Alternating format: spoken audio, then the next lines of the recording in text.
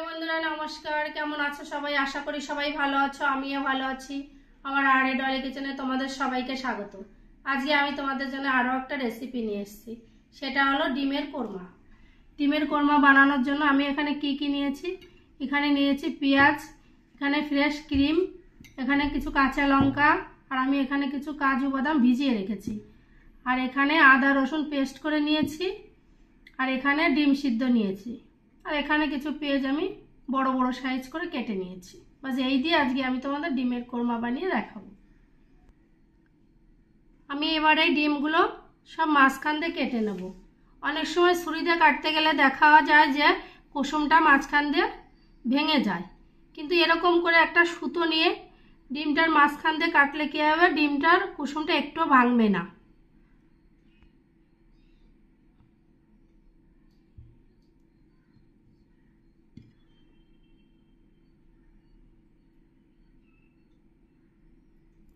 দেখো, কত সুন্দর হয়েছে, একটুও ভাঙিনি। আমি এখানে একটা কড়াই নিয়ে নিয়েছি, কড়াইটা গরম হয়ে গেছে আর এর মধ্যে খুব সামান্য একটু তেল দিয়ে দেব। তেলটা গরম হয়ে গেছে, এরপরে যে বড় বড় করে পেঁয়াজগুলো কেটে রেখেছিলাম, এই পেঁয়াজগুলো এর মধ্যে দিয়ে দেবো। তারপরে যে কাঁচা লঙ্কাগুলো রেখেছিলাম, এখান থেকে চার পাঁচটা কাঁচা লঙ্কা দিয়ে দেবো। আর আমি যে কাজুগুলো ভিজিয়ে রেখেছিলাম, এই কাজুগুলো এই একই সঙ্গে দিয়ে দেবো। এবার আমি এর মধ্যে চার পাঁচ পিস নারকেল দিয়ে দেবো। আর এই পেঁয়াজটা লাল লাল করে ভাজা যাবে না, কারণ আমার কোরমাটা যেহেতু সাদা হবে, সেই জন্য এটা কোনো রকম কাঁচা গন্ধটা চলে গেলে আমি জল দিয়ে হালকা হাফ বয়েল করে নেব। এবার আমি এর মতো জল দিয়ে একে সিদ্ধ করে নেব দেখো, আমার এটা অনেকটা সিদ্ধ হয়ে গেছে। আর এক দু মিনিট ভালো করে নাড়িয়ে নিলে আমার এটা রেডি হয়ে যাবে। আমার দু মিনিট হয়ে গেছে, আমার এটা পুরো রেডি হয়ে গেছে। এবার আমি বন্ধ করে দেব। এটা ঠান্ডা হয়ে গেলে আমি পেস্ট বানিয়ে নেব। আমি এখানে আমুল বাটারটা নিয়েছি। এবার আমি যে ডিমগুলো কেটে রেখেছিলাম, এবার এক এক করে আমি এই বাটারের মধ্যে সব দিয়ে দেবো।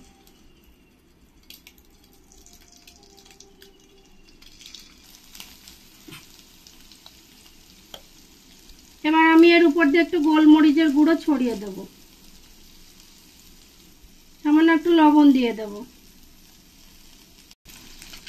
এবার ডিমগুলো আমি এরকম একটা চামচের সাহায্যে আস্তে আস্তে একটা একটা করে উল্টে দেব।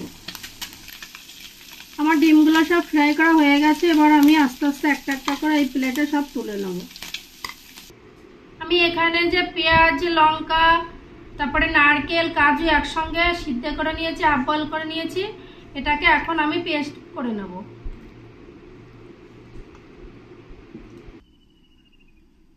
আমি যে বাটারের মধ্যে ডিমগুলো ফ্রাই করে নিয়েছিলাম, তার মধ্যে এবার আমি একটু তেল দিয়ে দেব।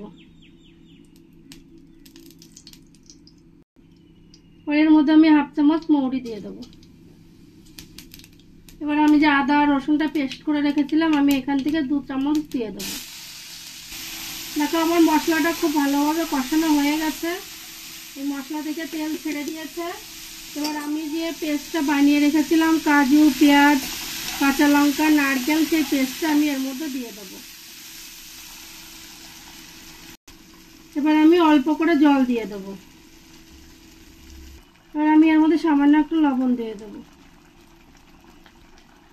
এর উপর দিয়ে আমি একটু কস্তরি মেথি পাতা ছড়িয়ে দিলাম। আমি একটু ঝালের জন্য দুটো কাঁচা লঙ্কা চিড়ে দিয়ে দিলাম।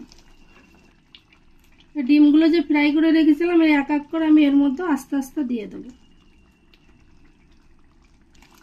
এবার আমি এখানে ফ্রেশ ক্রিম দিয়ে দেব দুই তিন চামচ। এবার আমি দু তিন মিনিটের জন্য ঢেকে দেব। দেখো আমার তিন মিনিট হয়ে গেছে আর আমার ডিমের কোরমাটাও পুরো রেডি হয়ে গেছে, এবার আমি বন্ধ করে দেব। এবার আমি এই ডিমের কোরমাটাকে একটা পাত্রে এরকম আস্তে আস্তে সব তুলে নেব। দেখো, আমার ডিমের কোরমাটা পুরো রেডি হয়ে গেছে। এবার আমি এর উপরে হালকা করে একটু ফ্রেশ ক্রিম দিয়ে দেব। দেখো, আমার ডিমের কোরমাটা কেমন হয়েছে তোমরা বাড়িতে অবশ্যই একবার ট্রাই করবে। ভালো লাগলে আমাকে কমেন্টে অবশ্যই জানাবে। আর তোমাদের যদি এই ডিমের কোরমাটা ভালো লাগে, তাহলে অবশ্যই আমাকে তোমরা লাইক শেয়ার কমেন্ট করবে। আর তোমরা যারা নতুন আছো, তারা অবশ্যই সাবস্ক্রাইব করবে। ভালো থেকো।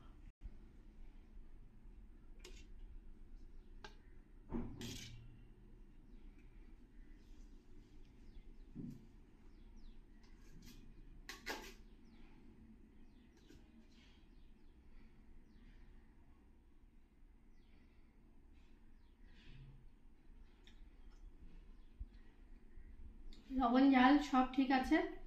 বাড়িতে অবশ্যই একবার ট্রাই করবে।